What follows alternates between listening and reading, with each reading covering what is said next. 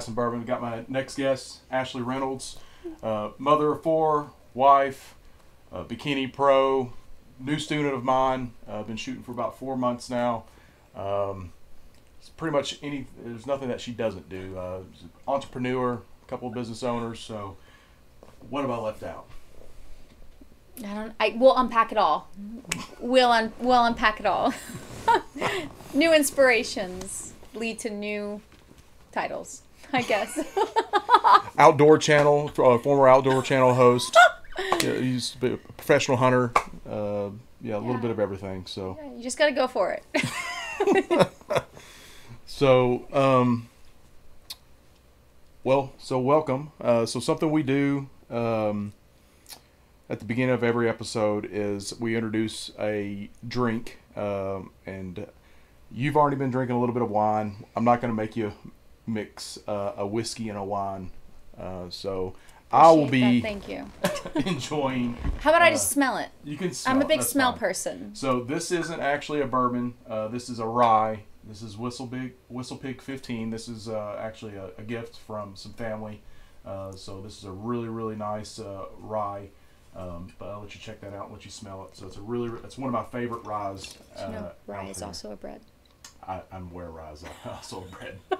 yeah. So I love you. but uh, that's Whistle Pig. But we should have some.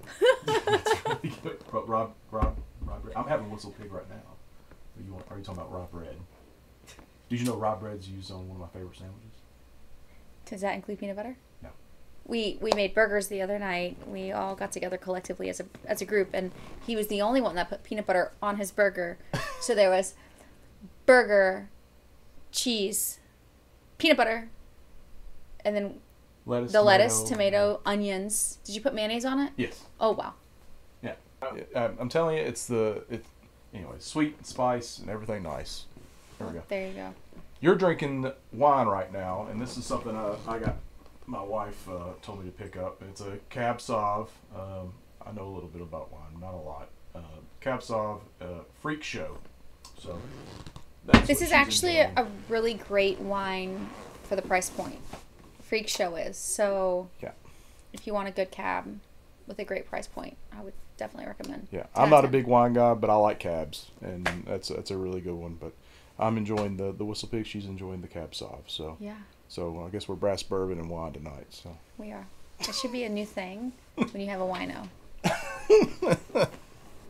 so uh, I guess uh, let's let's uh, unpack a little bit and uh, tell us a little bit. Maybe start with uh, I guess a little bit about your past. Uh, wherever you want to start, whether it's the outdoor channel to I like to start it to how you got to your self defense slash training adventure with me.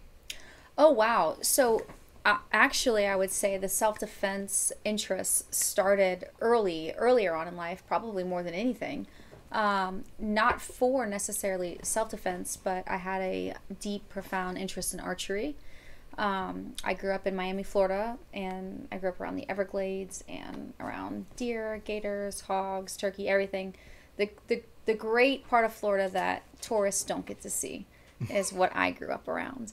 And um, whenever we would go to Bass Pro Shops, I would always find myself just walking the archery section and um, just took a great interest in it. And so when I um, navigated my life up until I met you, self defense and shooting was a great interest of mine just from the start.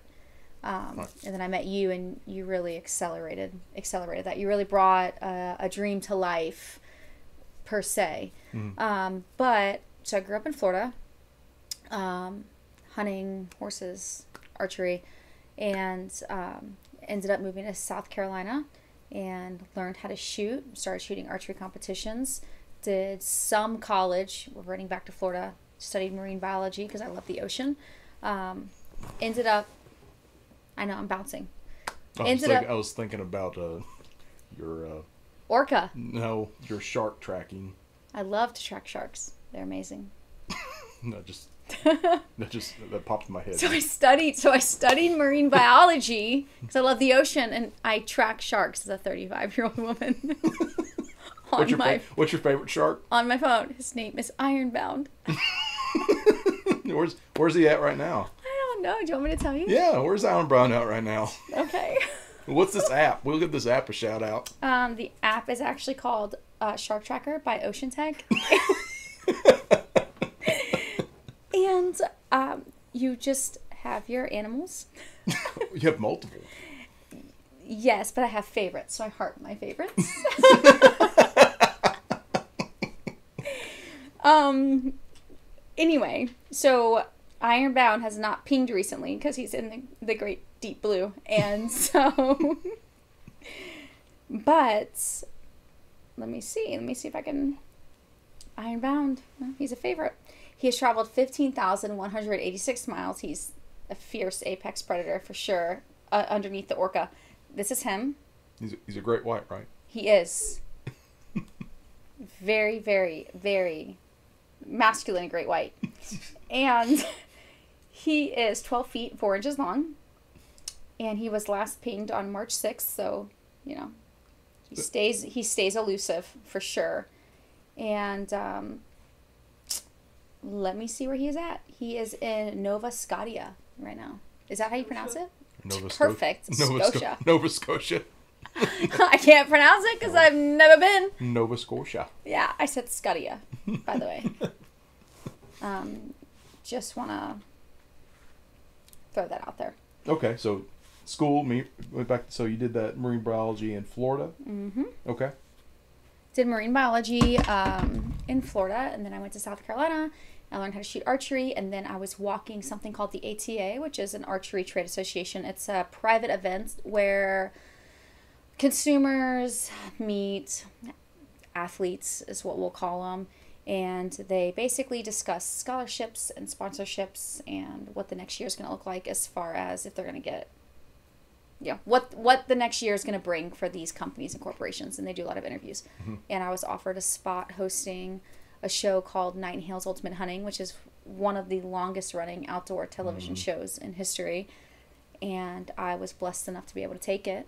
And i got plugged in with um, harold and david knight which own nightingale game calls what they did before they sold it um, to pradco outdoor brands. But and that opened a whole new world for me. I traveled a lot and I got to meet a lot of great people and really just take my life to the next level.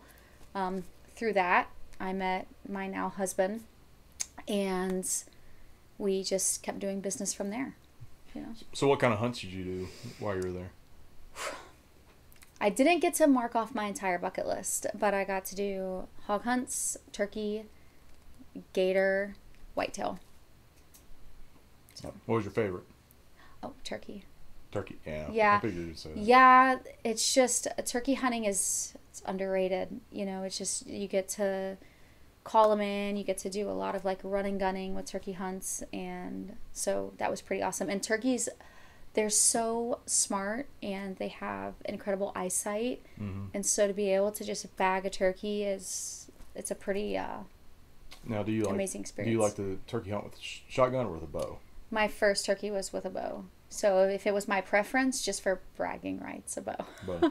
Yeah, but for convenience, a shotgun. Shotgun, And and I've gotten to see some amazing interaction between turkeys and hens while hunting, and it's it's just Yeah. amazing. They're just an awesome Yeah, animal. they'll turkey you bust you pretty quick. They're, you gotta. Yeah. Yeah, yeah, it's a it's a braggable hunt for sure. For some reason, every time I go deer hunting, I see more turkeys deer hunting than I ever do when I turkey hunt. It's Mhm. it's and then vice versa. Yeah, So, yeah, because you're a big hunter. yeah. Well, yeah. Yeah.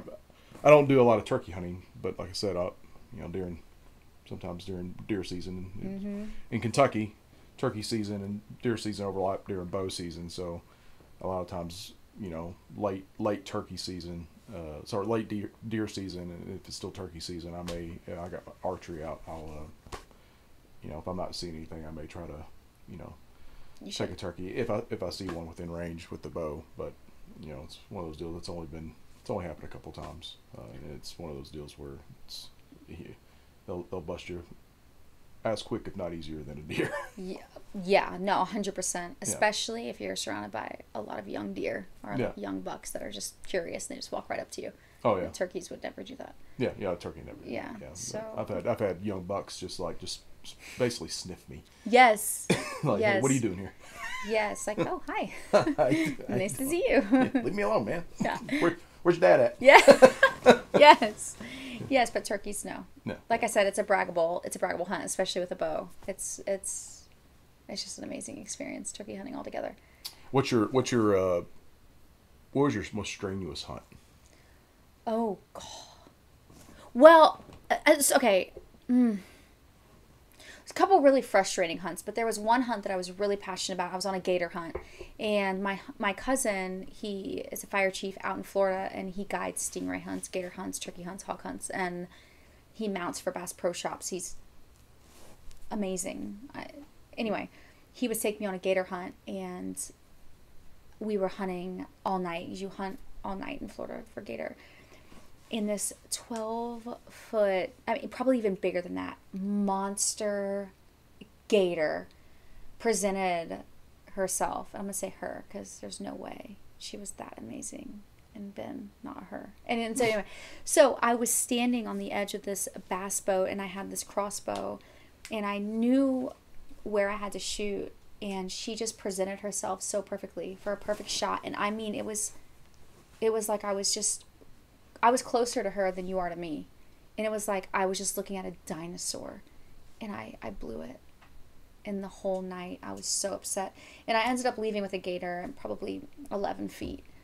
Um, but that moment I'll I'll never forget the moment I saw her and how she presented herself and then just how I just completely blew it and how I felt in that moment thinking like this was the the hunt of a lifetime and I just bombed it. It's almost it's like the this past deer season for me. I I took my crossbow out. Now I've never shot crossbow mm-hmm. hunting. I practiced with it all you know prior to season. I had no issues, Mm-hmm. and I shot under a, a doe. Which you know everybody's like, oh, a doe. Who, who cares? Well, I mean, I- what a lot of people don't know is like I eat. I only eat venison. My, my mm-hmm. family only eats venison for red meat. So like that's meat off the table. So mm-hmm. Basically after that that one shot I missed, I mean, uh, you know, it was my fault, but at the same time I was like I swore off that. So I, I mean, I went straight back to going back straight archery, you know, because I'm more comfortable just drawing a bow back. Yeah. Because I, I'm like, you know, I, I don't know, do gators have like? Did you have to use a crossbow? Could you have used a, a gun like a, a 22 or something? At the You time? have to. So basically, the crossbow is what allows you to pull the gator in. Hmm. So that's So not what so it's actually. Like, so it's like bow fishing almost. yeah, but you still gotta like, you still have to use like a bang stick. So you have to bring them in. You have to grab them by their tail while they're still fighting you, and you have Mm. to then find the perfect spot to Get through the, yeah, in the hunt. yeah. and so that that's pretty stressful but the fight's pretty amazing because you got to think like you have this 13 foot just like man eater at the end of your line and you're just fighting him you know it's just i can't explain it and gator meat's amazing Oh yeah. you know and you gotta you gotta think if you fall in that water you know there's You're in their world then. Yeah, yeah and so i love gator hunting but i grew up in florida around gators there's there's gators everywhere and so you have a respect and Deer, you don't have to worry about deer too much. No, no. here you have to worry about other things, but not that. Yeah. No, not that. Yeah. Yeah, that's uh, that's uh, that's a little bit different. A little bit. I mean, I think the worst thing you go out to Western Kentucky and a little bit of Eastern Kentucky, we have feral hogs. That'd be something we have to worry about here quite a bit Yeah. you start getting out there. And I know You they get get that a little bit north, like northern Florida. Yeah, You were telling me about you had a hog hunt one time that was pretty scary. That ran you up a ran you up a tree, tree. right? Yeah. Yeah, yeah, that was in South Carolina. I was doing a evening hog hunt in the middle of the night with some dogs, and we got on a hog that was, he was probably a a bar hog. So have you ever heard of that? Like a Mm-mm. So basically, what they do is they basically castrate these hogs, and once you castrate them, they just get bigger and bigger, and you can really trophy hunt a, a bar Mm. and that could be the case here. But anyway, he was really aggressive, and he put me up a tree. Oh wow. and there was dogs everywhere. And I would say, looking back, you know, hindsight's twenty twenty. Like, what is it called? A Monday quarterback. Yeah. Uh, I probably shouldn't have been hunting with the people I was hunting with.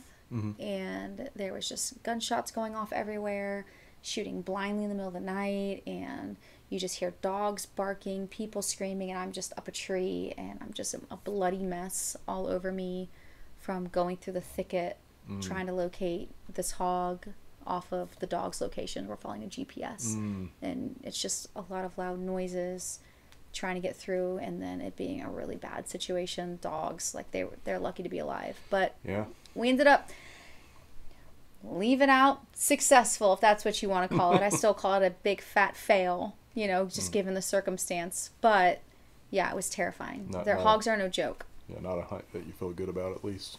uh, no it was traumatizing on, on every aspect probably the hogs aspect our aspect the dogs aspect it was just not a good feeling leaving Yeah, it. I could see that being a really stressful event. You- Mhm. I mean, especially gunshots going blindly in the night, and you're Blindly. just you're just stuck up a tree. Yeah, that'd be blindly that's a that's a butthole factor. Type, Yeah. You know. it was terrible. I, looking back again, like I never, knowing what I know now and just being where I'm at in my life, I never would have gone with the people I went with. Okay. Well, but I did. Yeah. Ma- ma- So. well, I don't makes sense to me. hmm Um, well, so going from the outdoor channel, so what what happened after that? Um, I met Caleb, who's my husband now, and we just, I was always more business minded, always wanted to start business. Um, and we were heavy into fitness. I started working out probably when I was about 22. Always dreamed of being a bikini athlete, a bikini pro. I just loved the body and how amazing it responds to food. And um, ended up becoming a bikini pro later on um, and made a business out of it. Started doing online training, opened up my own fitness clothing line, and it all did really, really, really well, exceptionally well. Um, but I always knew I didn't want to be a.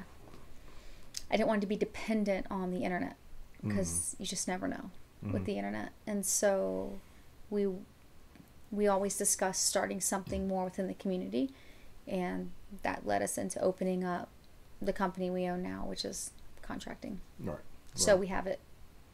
We have all of those going. Right. Well, I know my wife really likes the your uh, your clothing line. She really likes the your leggings. So Yeah.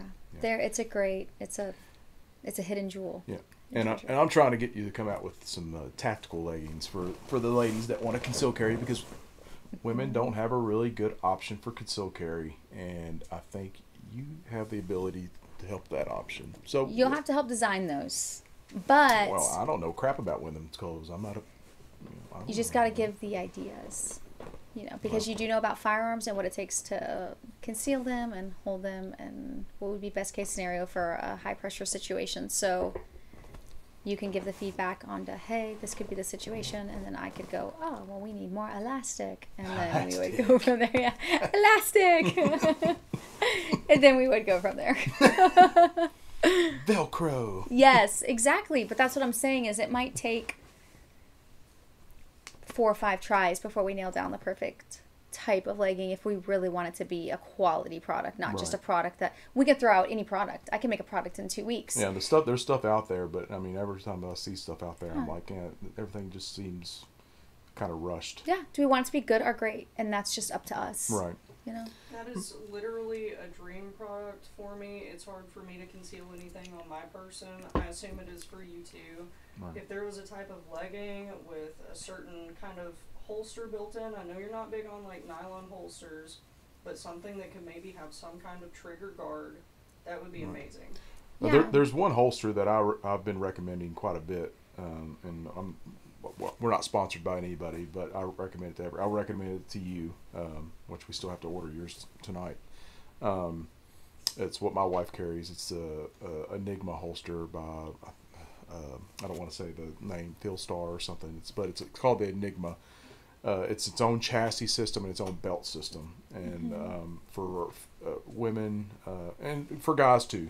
It, it can, uh, you know, I ran one for a little bit because I don't, I don't recommend anything that I'm not willing to try myself. Um, but for appendix carry, Um, it does a really, really, really good job um, fitting uh, under any any type of clothing. So gym shorts, yoga pants, jeans, and you're not really required to wear a, a belt with it. So because uh, it has its it has its own chassis system um, and own belt system built into it, uh, and I, that's something that I would somehow like to incorporate would be a belt system um, that your that the holster could latch onto, um, uh, where any holster you wouldn't be limited to just one type of holster. So if you have multiple firearms and you have uh, multiple holsters, you could latch on to that. So that that would be a, a big for me would be a big selling factor uh, to a concealed carry garment.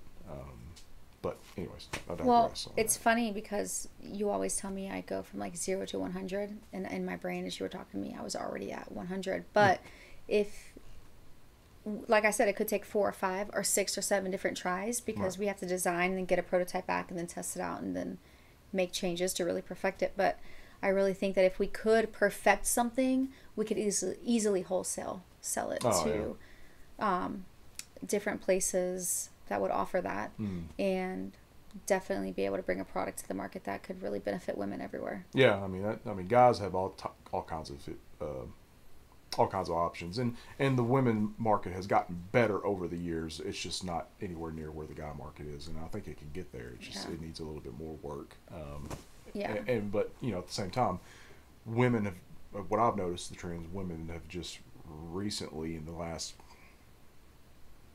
I'd say less than five years have really started taking concealed carry to the next level. Probably a little bit later than that, maybe seven, seven years or more. I would have to agree with that first uh, timeline. Yeah, but it's Yeah. it's really it seems like to me it's it's really jumped up and, and I've noticed it with just you know since I've started my my company, you know, it it's it, I have more women private students and I typically have more women students in general than I do guys and I don't know if it's because guys have a more of an ego thing or going on or or what but I typically have more interest. It's weird. So like more more guys show up to scheduled classes more women show up to private classes and and um, you know things like that. So it, it but I, I see a lot more women reaching out having conversations than I do guys. So it's it's, And, it's and women, I think, are more prone to asking, like, for help. Hey, Yeah. can you teach me? Hey, can you help me? Or hey, can 100% you show me? And not to knock you guys, but I think women are much more resourceful in that mm-hmm. aspect. They're always reaching, asking, trying to yeah learn, grow, and I think. I- It's well, it's, for guys. It's an ego thing. It took me. I mean, for I think I didn't start. I did not start getting good as a shooter until I learned to swallow my ego and realize that for me to get good, I needed to realize that I was not good at my current level, and I needed to listen to people that were better than me. Yeah, and you still do a lot of classes because I feel like I will message you and you'll be like, "Oh, I'm doing a class on this month or this month or this month." Like he's, you're always trying to, always learning. always learning. Yeah, well, try.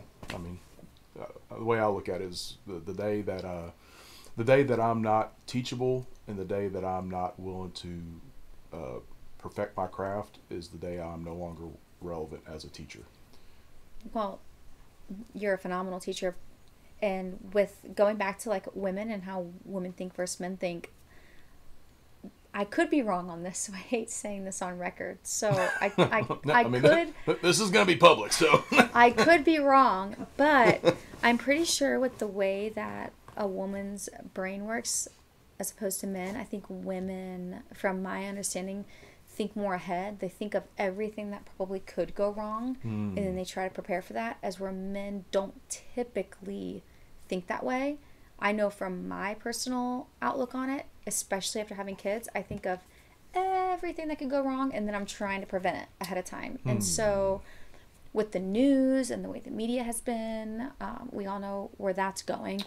I have thought, you know what, if I'm ever in a situation where I find myself in an active shooter shooter, shooter situation, God forbid, I want to be able to eliminate the threat. And so that has been a really big concern of mine for a long time, especially with having children. And so that is what forced me into really Mm.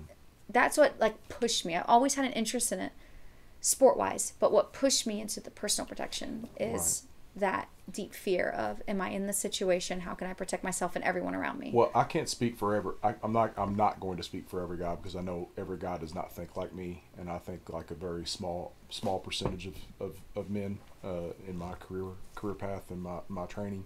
Um, but you know, you know, I think I the way I think I think of uh, uh, most probable course of action, what's most probably going to happen, and then you know the mo most worst course of action. So I train for the worst course of action, but I you know but I also think what's what the more likely thing is going to happen. So I want to be prepared for what the worst thing could happen is, but I also understand that this is what the the most likely outcome is going to be. So that's how my brain processes information. And you have you've obviously been exposed to like high pressure situations since your military and then now being a deputy. So you see a lot more than what like a civilian would see. Right. Like you see the worst of the worst. You know what I mean? And so I think that that would also change the way your thought process was on right as well. yeah so you know something i've just noticed just in general with people uh, a lot of people just and, and this is not knocking people in general but this is how most people most people go throughout life living their day-to-day life not aware of the things around them. Uh, they go throughout life uh, getting their starbucks looking down at their phone uh, not being uh, aware and you know living that American dream, um, and they don't understand that the evils are around them. Mm-hmm. Uh, and then there's a lot of there's a lot of things, and and I'm not saying that everything's evil uh, around you, but there's a lot of a lot of things out there. th- There's a lot of things out there that do go bump in the night that you're unaware of Yeah. um, that it's better to be prepared for and never have to ever use that skill than when you need that skill and not know what to do because Yeah. you're because when you're training if if you have zero training you're presented with a situation you're not going to rise to the occasion you're going to resort to your lowest level of training uh, so whatever you've done the most is what you're going to do.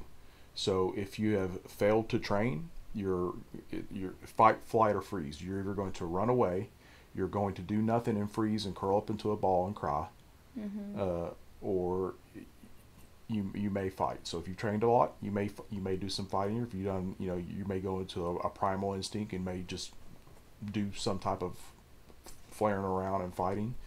Um, but if you've done training, you've made your training uh, um, habitual, and you've uh, you know got a process going, whether that is martial arts training, uh, uh, and you need to do a little bit of all of this: martial arts training, exercise, uh, and uh, firearms, uh, self-defense training.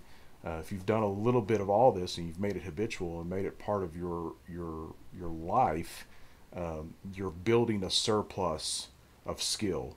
And when you're presented with that threat, your brain can process that information because you've built these files, you've built neural pathways in your brain to say, I can solve this problem.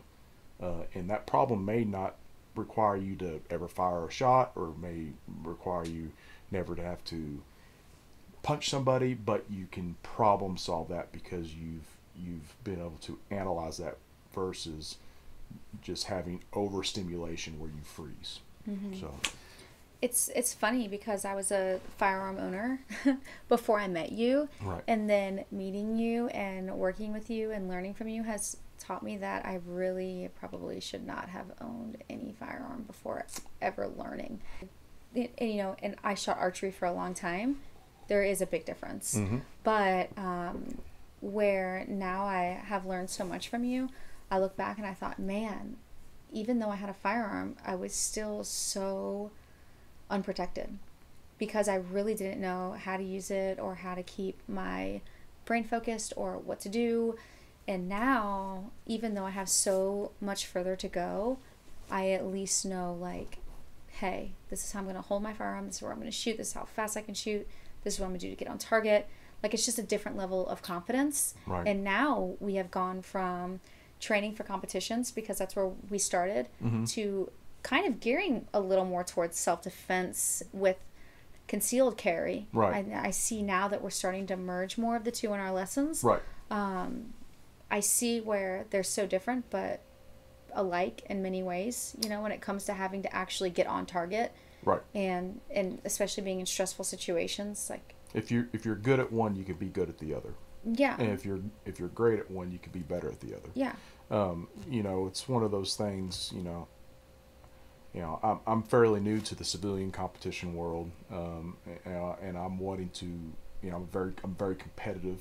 Um, so, but one thing that I, I don't want to do is I don't want to sacrifice a whole lot of, uh, we'll say, I don't want to say tactics, but I don't want to sacrifice a whole lot of, uh, you know, uh, I don't want to build a lot of bad habits just to be competitive, but I also want to learn more about skill building. So when I'm shooting competition, I'm taking that more of as, as a time as skill building, you know, shooting faster, moving because there's a lot of movement. You saw a couple, some of the competitions, so it's a lot about movement, shooting fast, uh, processing information.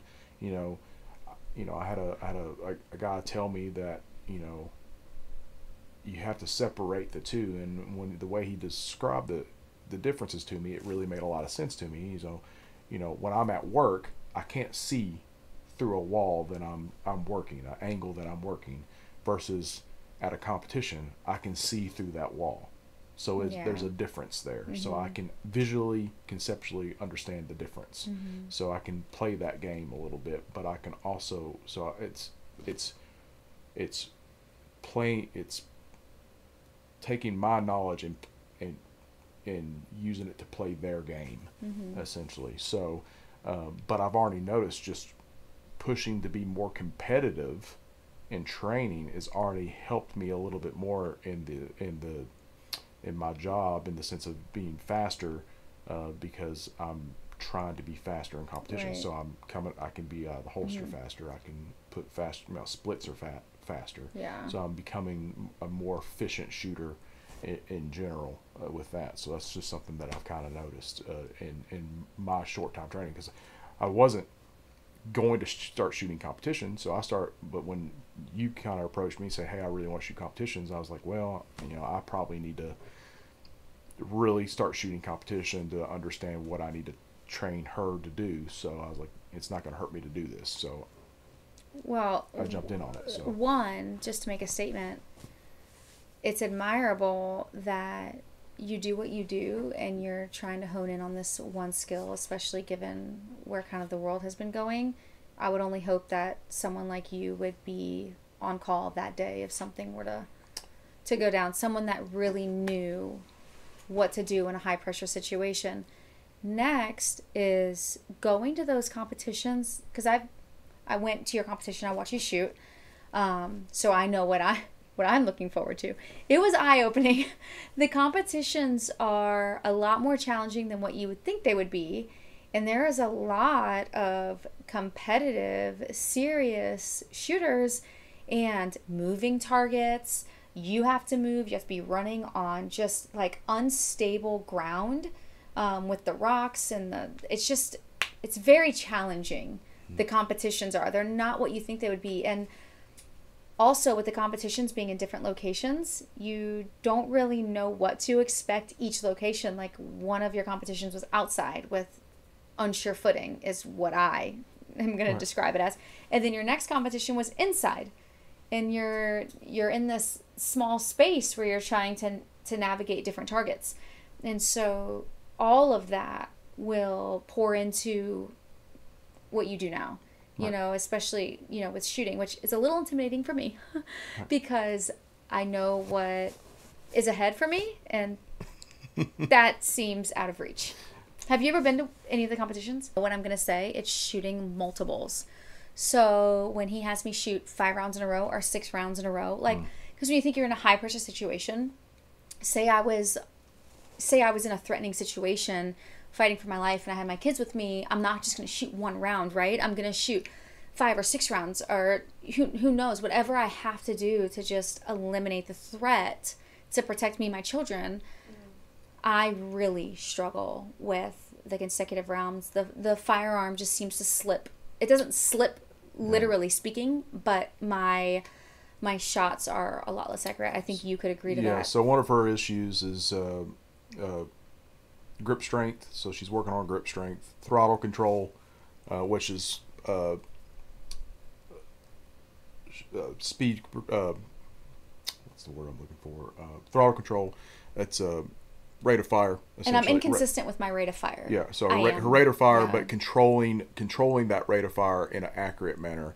Uh, so you know, so when I say throttle control, it's it's not just the rate of fire; it's delivering accurate shots in a in a um, in a in a good cadence. I don't, I don't I don't like using the word cadence, but in a in a desired speed. So whether Yeah. that, that split would be a you know 0.20 or 0.25, you know, but in whatever desired speed that we're wanting her to shoot, you know. So so so sometimes she's doing it really well, sometimes she's doing it you know a little bit slower, and it's getting better. But a lot of that has to contest to her um, uh, just grip strength, and then um, when she's she overthinks shooting fast. So when she does that, she subconsciously over tightens her strong hand, which gives her trigger freeze because she's trying to shoot fast. So she tightens up her strong hand, her, her gun hand, and that will lock up her trigger finger. So And also, I'm not. If I was under a threatening situation and my target was close where I could use like a gross sight picture, in my brain I'm thinking, oh, this shot has to be perfect. yeah, Instead of thinking like eliminate the threat, I'm thinking let's make perfect shots, and that that also really slows me down. So we're Yeah. working on that as well. yeah, yeah. She Yeah. wants she's instead of you know working on a, you know, uh, depending on you know, so working on something with Fitts law, you know, looking at you know a relative site, uh, a relative target based on um, distance and size of target, uh, on whether you're doing a controlled slap or a violent slap with a you know trigger prep, uh, a trigger prep violent slap or a controlled slap with a gross sight picture, um, uh, you know violent streak, controlled streak, or a static a static dot if you're using dots or iron sights depending on you know the sights if she uses use, is using a dot. She's still learning what she needs to do uh, at those different distances and trying to figure figure that out. So she's really wanting to let that dot settle a lot where when she doesn't need to let the dot settle. So you know I have to sometimes get a little persuasive with her uh, uh, with with wordage saying you know hey s- slap the trigger you know But it just- works because in because it makes me feel less stressed. So when he's like, you know, right now we're just gonna shoot faster. So in that moment, I'm not worried about shooting accurate. I'm just worried about shooting faster. He puts low pressure on accuracy just in that moment in time, just to get me, just to give me the feel of what it's like to shoot faster. And then we kind of correlate the two. Yeah, yeah, we intersect the two. So it and what, works. And, what she really ends up finding, what we end up finding out, is she doesn't really degrade in accuracy any. She just she ends up just shooting faster because she remain her her accuracy remains. I mean, she's still shooting alphas. You know, she may throw a Charlie out occasionally, but she's still shooting alpha. But when she throws a Charlie out, it's like she's like the straight A student that gets the B. She's like, "Oh, it's a Charlie." I'm like, "Okay, It'll be okay. it's gonna be fine. It's the first one of the day. We've been in it for an hour. You'll be fine." It's he does he does know when to put on the pressure and when when to take off the pressure and that helps my performance for sure. I mean one time we were shooting um, someone came and, and he was shooting with us and it was really funny because he was like you know you you've really slowed down ashley. And i was like like i was a little offended you know and the very next shot i ended up making my fastest on target shot from holster target at one second Yeah. and it was right after your comment and i was It was, thinking like it was, it was, it was point nine point nine seven from is actually you were using my you were testing out the new new holster with the enigma yeah the Enigma Yes. holster and you're because you're looking at what kind of because she typically shoots a Glock 45 as her normal Mm-hmm. what's what she's training with to shoot competition and stuff with and um, and it's just too big for her to carry concealed. So I was like, well, this is what my wife carries concealed. It's a it's a uh, Sig P365 XL, uh, and uh, with the Enigma holster. And I was like, I'll bring it in, let let you test it out. So she she strapped that on and and ended up loving it. But you know, she ended up going, you know, after I called her out, she ended up putting a, a shot on target and point point nine point nine seven uh, at seven yards in alpha, and the guy the guy was like, "It's pretty good." But Clint, he knew what he was doing when he said it, and I was like, okay. Like he called me out. Maybe I needed the reminder that, like, you know, be a little more confident in myself, or just less pressure, just relax. That's funny. and and so it's been it's been great. I mean, deciding to shoot with uh, American Patriot Defense, which is Clint's company, has been the best decision I've made in a long time, and it's not only has it been educational, but it has been such a stress relief. So, yeah, and I think that this is a lot of the well, this could never happen to me type situation, or this will never happen to me type mm-hmm. situation. And also, you got to think how often are you really with someone that's going to protect you? I mean, me, when I think about it, I'm alone with my kids the majority, the vast majority of the time. And I can't just depend on hoping that someone like Clint is existing in the room where some where something goes down. Right. You know, and that's what I think a lot of women are still riding on the backs of hoping that men will step up and I, I can tell you for that class, I've had several people contact me over it and you know asked me about it, and several people have mentioned that they're interested in it, but they've got already had something going on that weekend. Are we going to have it again? or it's You know, too can- cold. The cold season's really hard. People complain about the cold a It's lot. April. It's going to be in April. It's, now, but yeah. people complain about the cold all the Yeah. time. But I mean, You so you know they've they've asked if we're going to reschedule it or can we do it again at another later uh, later date. And here's the deal: I don't care to to to reschedule a women's only class. It, do- it doesn't bother me to do that. Uh, it's just one of those deals. Is I, I've done this. I've I've offered a women's only class before, and it turned out pretty similar to this one too. Sometimes they're they knock out they knock out of the part, They do really well, and sometimes you know, a lot of times uh, what I find is some people are embarrassed to go to classes as well. They're afraid to go get training because they're like, well, I don't know anything about firearm.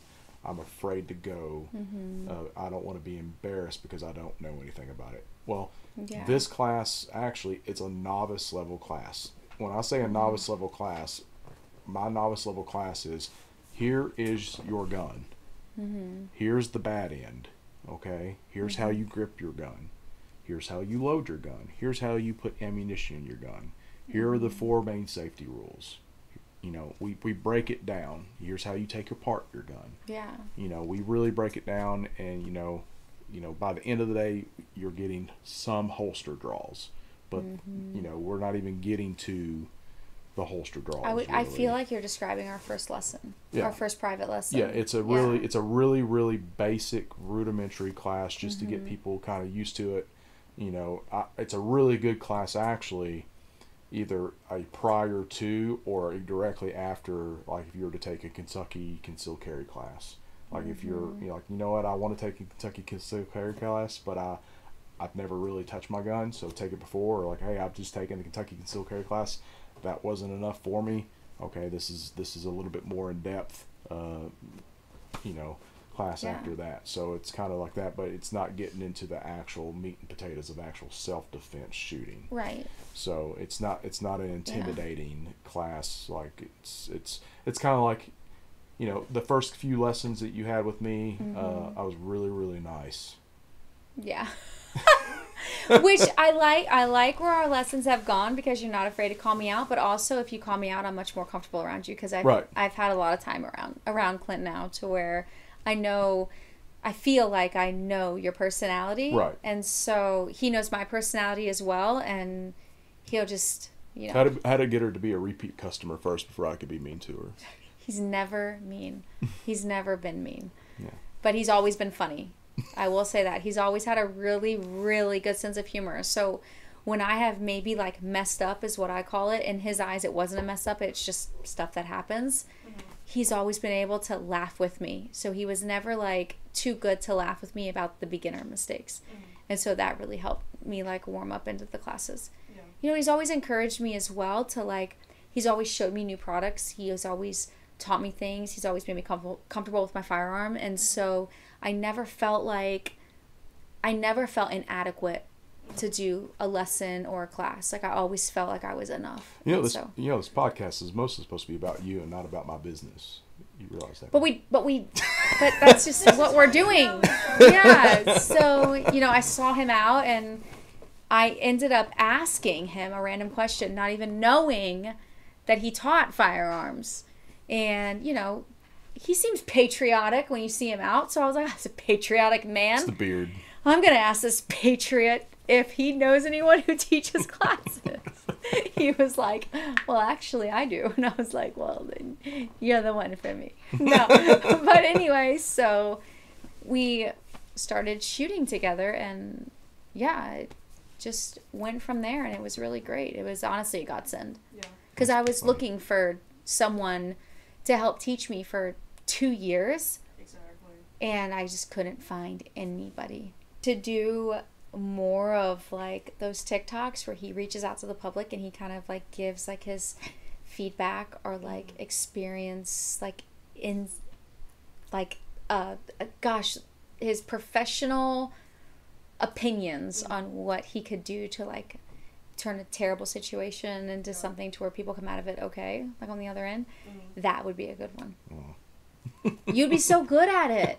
You don't. E- I just don't even think that he sees his own potential sometimes. Like I, he's confident in teaching people how to shoot, but he has so much more beyond that. Yeah, he's got And- a knowledge. Yes, and I think that that would be a great one. I Yeah. I'm gonna go and teach my kids that. My dad, when I was growing up, had a had a uh, password. So if anyone were to pick us up and we never knew them, they were to know a password. And our password, and I'm an adult now, was Rumpelstiltskin. Mm-hmm. And that's not my kid's password. It's a, But- hard, it's a hard word to say for a kid. Rumpelstiltskin. So if a stranger were to come to school and pick us up and we didn't know who they were, we were supposed to ask them the passcode. And if they didn't know the passcode, we are not to go with them. Same with knocking on the door and opening up the door. If they didn't know our passcode and it didn't matter who they were, they're not to even discuss anything with us it, unless they knew the passcode. And And that's after meeting your me of that. dad, I can see him. Totally Can't you? And he did this unless they know the passcode. My dad, uh, he's special, man. He's special, and uh, he has taught me a lot. And I never knew my grandpa, my dad's dad, and my dad talks about him often, and he misses him dearly.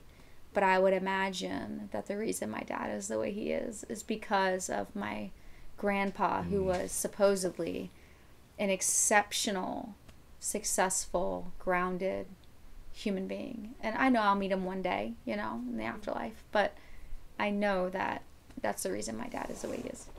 Outstanding. that So was such a great word. You've never said the word outstanding I say me. outstanding all the time. You know what? Next time I do something really great, if you don't tell me outstanding, I'm gonna be pissed. You better. You better. I've never You heard you gotta- say outstanding. you- Even when I shot a .97, which I thought was a one second, so really it was .03 quicker. You never said outstanding, and that was outstanding. It's acceptable. You, you held back. I can't believe it. Now that I have shot with him, and I even went to South Carolina, and I went to shoot, and after shooting with Clint, I feel like nothing else is gonna compare.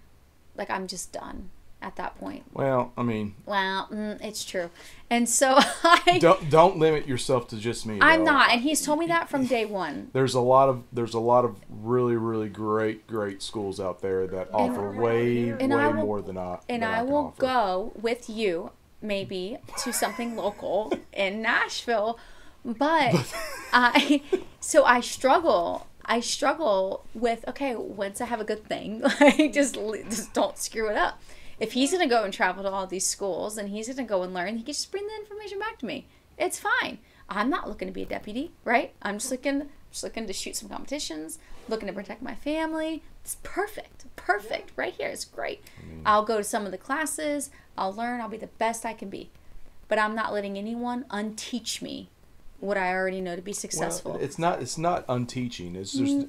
It's well. That's how you develop. depends. It depends on who you're shooting with. That's that's how you develop yourself as a shooter, though, because how I teach something, somebody can give you the same knowledge, or describe it a different way, and you pick it up a different way, and it, you're able to better yourself of it. So, like, how I how I shot three years ago is not how I shoot now, because I've been to different places and I've deve- I've constantly developed myself. And I will follow myself and you to wherever those who you trust are.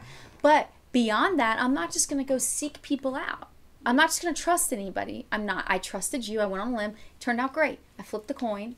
Got ahead. like, landed perfect. Ace. there's there's If he's going to go to a class, tons of different. There's point one tactics, Gunsite. yeah, Modern Samurai Project, Perfect. War you- Poet. I mean, perfect. if you recommend them. Chef's kiss. If not, no. I'm not just gonna hand people my money. When I asked him, "Oh, do you know anyone who shoots?" Like that was like the four leaf clover, It baby. reminds me of Independence Day. I'm pilot. I'm fly. But uh, that's like how guns, I I feel. That's how I feel. Like I'm not. So many people like just are like, "Oh yeah, I shoot. I'll teach you." But do you though? No, yeah, no, I, I get it. I mean, Come there's on, like I get it. You have so much respect for other shooters, and I love that about you. And you're so humble in that area of your life. But for someone who doesn't know anything, going out in the world and just shooting with other people could actually be detrimental to their progress. yeah. Well, Yeah. well, there's something that I always do, I always say. Vet the instructor. Vet the school. Vet the instructor. Yeah, Just don't go do. out. Don't go out the Joe Bud. Like don't go out. The, don't go out to Joe Bud's cabin and say, "Oh, this guy knows how to." He said he knows how to shoot. No, no. Okay, what's his credentials? Mm-hmm. Yeah, no, what- you've always said that. Yeah, You've always said your vet your instructor. instructor. Yeah, he has. Vet your instructor. Vet your instructor. Vet your schoolhouse. yeah, you're my vet. So if you say this is good, then this is good. Like even my firearms, like I don't even know what I own at this point. I don't even know what I bought today. I bought a firearm today. I don't even know. He just told me to buy it. Oh my god. Just like here, buy it. this is the one. then this is the one. It's the one. It's a P three sixty. It's the one she shot and she liked. I did like it. He, he, we did. We, We went tested out. it. we tested different firearms, and I said I like this firearm. So we found a, a great deal and sent me the firearm, and I bought the firearm eventually. I bought it, Eventually. but yeah, eventually I had to fill it in there. But I wouldn't have bought the firearm if he didn't tell me to buy it because I trust him, and that's where trust comes Yeah. in. You know, that's established trust.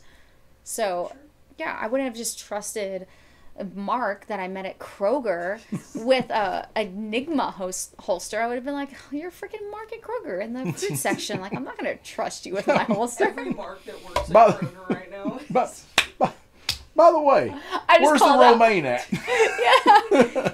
But you get what I'm saying. You know, it was my four leaf clover. Like I just it was a happenstance and it turned out to be good. Turned out to be good.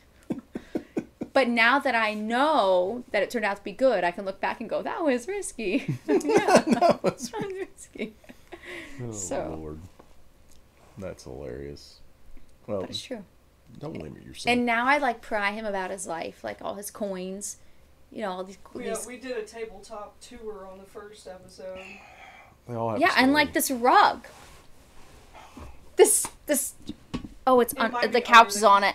This rug, I'm pretty sure it's from Afghanistan, baby. yeah, It's it is. 2013. You were in Afghanistan, Yeah, right? I think you went in what 2011. 2012, 13. Okay, I was really close. See, I'm learning. It has. We got ARs on here. We've got tanks. We've got choppas. We've got the map. We've got all sorts. See? Yeah. I'm learning all this stuff about you. Yep. Credentials, baby. Credentials.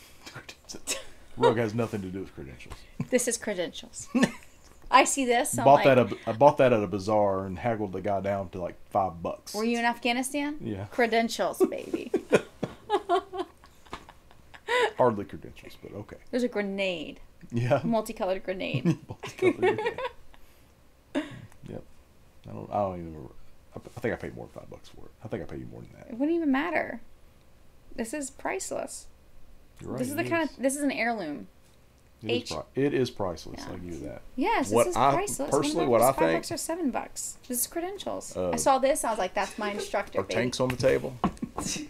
Okay, yeah. I mean, you can own whatever you feel like you need is necessary. I mean, if you want a anti-tank rocket, Do you want someone with anxiety to answer you, that if question? you, if you want, if you want a tank, if you want to, if you want to, I mean, I, I, personally, you know, I feel like you as the responsible gun owner, you need to take, be responsible and take ownership and get training on whatever device you feel like you need, you need ownership. But I, th- I feel like I have no right to tell you what you should or should not have. So I've seen so many irresponsible gun owners that they have just like a bunch of little kids running around and they're just guns just loaded, laying out everywhere. Um, that I can say with anxiety that I feel like everyone should be requ- required or at least desire to seek someone out who knows more than them to take lessons. I think they should be desired What- to, but I mean, who who am I to have somebody required to do it? The Second Amendment doesn't have anything about requirement. You're you're exactly right. But if we're thinking about like protecting ourselves to the max, if we're thinking about okay, I'm going to prepare myself to protect myself from my family or even my community, you're going to think that that desire would be there. Right. So I would recommend I agree. I agree. We but Yeah. we have to take we have to take emotion away from what the law says, what the root of the law says. well, cool. I'm just saying you have to you have to separate At those this two point, things. You I and I've never been here before in my life that I would want me You gotta, behind the that's barrel the way I look at it. before I have to. on the I have. block. At this point now, now, if you would have asked me that five months ago, I would not have answered that. Right. Because bad bitches run, baby. bad bitches. oh my god. no. Because I didn't have the confidence that I have now. You're, to me, I mean, I agree. You know? Your average gun owner, to, I mean, your average gun owner doesn't does not have enough training to Yeah. to to probably do what is necessary or to protect themselves. yeah. But we've also been proven. We've also seen your average gun owner protect themselves with a firearm with very minimal training. But then you have can people you have people complain come people. You have people complain about firearms, right? People are complaining all over the world about mm-hmm. firearms, killing innocent lives, right? Right. But we don't have good people that are willing to protect those innocent lives. Do you know what I mean? So I feel like if you're going to buy a firearm and your intent is to protect you, your family, those around you, then you should do what it takes to get the training that you need to be able to do that. You And- should, but I don't think it should be a it shouldn't be a law or shouldn't be a requirement. Oh, yeah. Hmm, you know, I don't know. I don't know. I might. Because You're right because because, we have the right to bear arms. We because because do. because if we make that a law, make a requirement, what's uh, oh well, you have to have a law and requirement to say these certain things in public. Tell that to Chicago. Yeah, I mean, look, you do Exactly. have you do have the right to bear arms. You do, but as someone like if me firmly believing in that, then I also firmly believe that I should know how to handle those firearms. And I get it. That's not everybody. We all think differently. We all Right. don't have anxiety. No, anxiety. I agree. I mean, I'm, know? I'm not going to get mad at. Everybody's got a, an entitled but it has opinion. been so enlightening getting the training that I have. Prior to this, I'd been like, oh yeah, I just give a firearm to anybody. But now that I have training, I see mm, that's really important. Well, I mean, again, that's. I mean, I've said this before in the on the podcast, I think, and, and just in general. Like, that's one reason I, I started my company. Is I mean, I went to the range one day just to kind of do some of my own stuff, and you know, within 30 minutes, I had four guns pointed at me, and they weren't they were not malicious in any any any way. Yeah. They were just poorly handled. Same. You know, just poor- poorly handled, and you Mhm. know, instead of me just keeping my mouth shut and going about my day and accepting that, I decided to walk down the line and say, "Hey, what's going on, guys? Just so you know, your gun was pointed at me. Let me teach you these things. Let me. Have you heard of these rules before? How about we keep the gun pointed this way?" And it wasn't trying to, you know, you know, out of three people I addressed, probably two of them thought I was being an asshole, and the other one was like, "Oh, that makes a lot of sense," you know. Mhm. But at the same time, if we'll say one person there was the one that was responsible teaching somebody here, and they're teaching them the wrong thing, Mm-hmm. you're teaching them that that's acceptable Yeah. when it shouldn't be. Yeah. So When I was in South Carolina shooting recently, I had the barrel cross me umpteen hundred times. right, You know what I mean? But just because they just weren't, they didn't know any better. They didn't think any better. I remember when I brought a friend from out of the country to shoot with you, I remember you were right there next to him and he had no idea how to shoot and Clint was right there just like waiting and when he shot, he was really nervous. It's just not in his culture to shoot. And Clint just like was right there ready to take the firearm from him. You know what I mean? But you don't have that every day with Right. just n- everyday shooters is what I'm going to call them because I've shot a lot and never once has safety been so implemented as it is now. Yeah, I When get I was- picked on a lot. I remember when I was first teaching her to reloads. Uh, man, she would she would go through, man, she'd go through brain farts bad, like Mm-hmm. just complete absences of, of of what and all shooting. Like, listen, all shooting is, eh, you know, I don't care who you talk to. There's no, there's no tactical shooting or no advanced shooting. Uh, shooting is shooting. Uh, uh, advanced shooting is just doing basic stuff uh, to a a perfect level or doing it at a a, a, a superior level where you're taking imperfections out uh, and you're processing information information faster. That's all advanced shooting is. You, you won't convince me otherwise. So you know, advanced shooting is just instead of you shooting one second or half second splits, you're shooting quarter second splits or 0.5 split, second splits. Okay, now you're shooting advanced. You know, or you know, tactical shooting is not much different. Tactical shooting is okay. Now I'm going to add some footwork to it.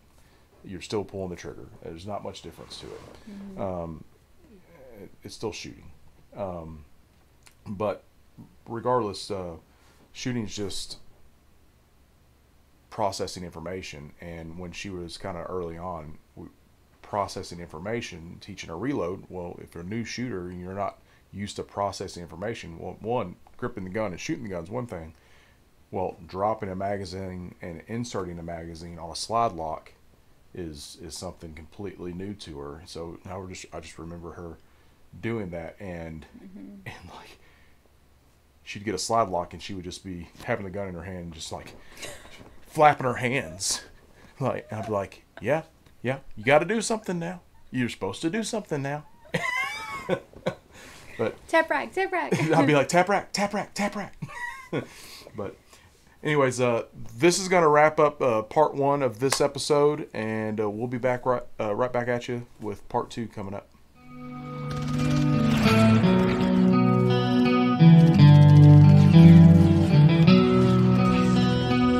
Música